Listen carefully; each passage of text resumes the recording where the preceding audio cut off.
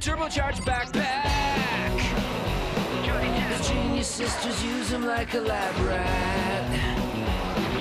A neat freak dad at home, a super busy mom.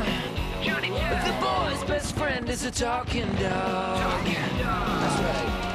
Three extreme genes and an air-breathing shark. Mega action game controller skating in the park. A Pharaoh booster bling bling. What do we make of this?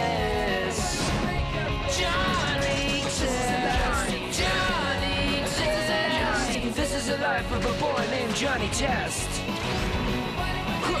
Johnny Test. Johnny Test. This is the life of a boy named Johnny Test.